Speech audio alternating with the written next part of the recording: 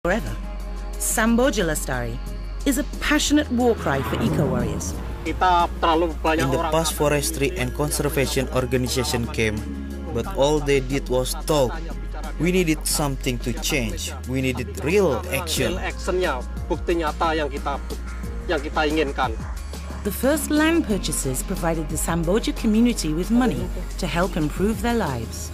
Kami oleh Samboja Lestari ditawari, kemudian We use the money to buy property, which is closer to the main road and my children's school. otomatis dekat dengan sekolahan. The economic benefits to local residents did not end with a fair price for their land. Those who sold their land to BOS were also entitled to jobs. Dan yang lebih Another benefit for my family was my husband got an opportunity to work in the BOS and Bojala study project. Many people are now working for Samboja Lestari, planting trees, the first step in turning the wasteland back into a rainforest. Where I am standing right now is almost 2,000 hectares of former yellow grasslands as far as you could see. Every year there were fires, there were floods. And now, all of a sudden, we are looking at a new forest.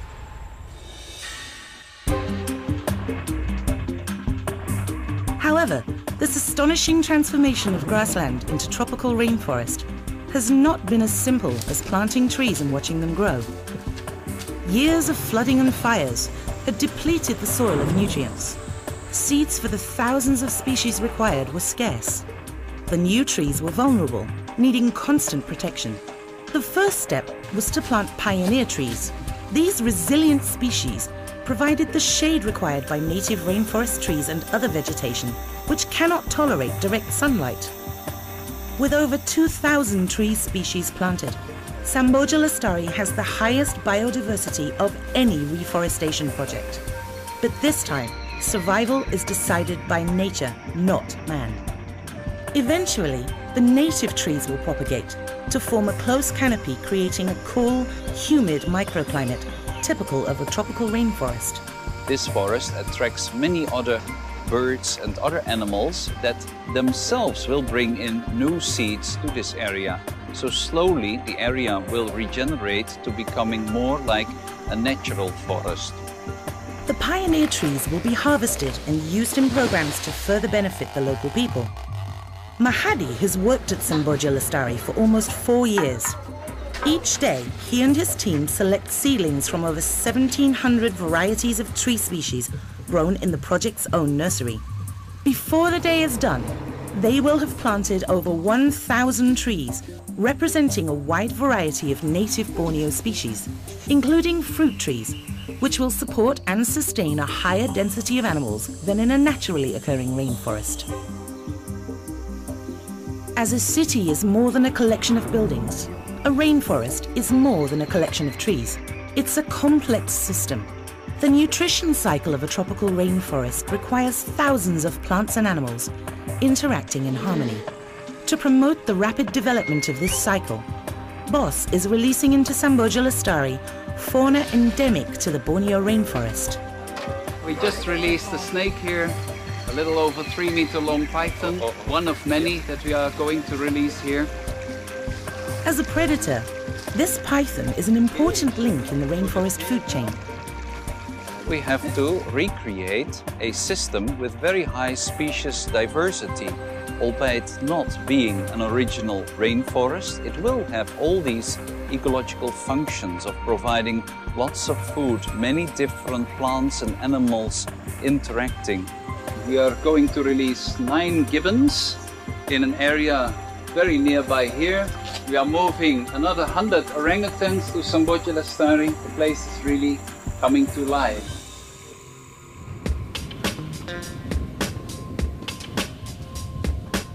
Until a high humidity microclimate is fully established, fire is a constant threat.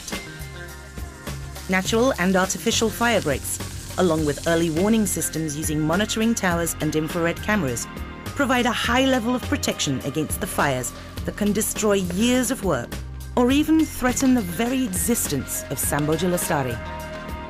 Samboja Lestari punya komitmen untuk Samboja Lestari has a commitment. We are planting the trees and protecting the area from fire.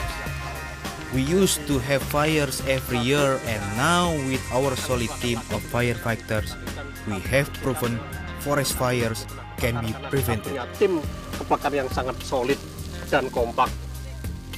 Equally important to fire prevention is the ability to monitor the levels of growth and regeneration occurring in the forest. With the help of the Indonesian SarVision Group, working in cooperation with BOS and the ESA, the European Space Agency, a satellite-based monitoring system is being installed, allowing real-time remote imaging of any section of the forest. So we are here in the office of uh, SarVision in Samboja Lestari. And from here we are monitoring all the forests of Indonesia. So BOS invested a lot of money in sending all these people abroad to uh, get their PhDs in radar technology that can penetrate clouds, that can monitor forest changes at any time in order to be able to take the right decisions to protect the orangutans. This advanced imaging technology, which can see a coin lying on a square meter of rainforest floor, will provide detailed monitoring of the regeneration process. This monitoring and data will help develop guidelines for similar rainforest conservation projects elsewhere in Indonesia and potentially anywhere in the world. This is the tool also that we use for the transparency for the people that adopt the square meters here in this area and for people who are investing in nature conservation. We can provide them the proofs with this technology of an integrated team of experts. En dat is ook.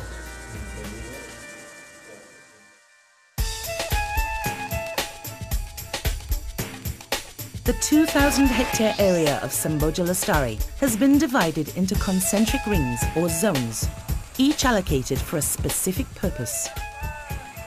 The entire Samboja Lestari compound is surrounded by an area known as the Outer Ring. BOS has given this area for the exclusive use of local residents. They learn interstitial farming at Samboja Lestari's own forestry school, applying the technique to their own plots of land. By planting vegetables and other useful crops among the native rainforest trees, they promote a stable ecosystem while protecting the vulnerable seedlings during the early growth years. BOS has planted superior quality sugar palms for the local people.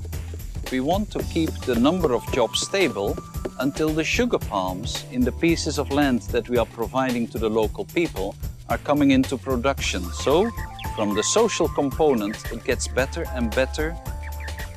Eventually, this sugar palm will be refined to produce ethanol in a replica of the pioneering palm sugar factory built by Dr. Willie Smits in North Sulawesi.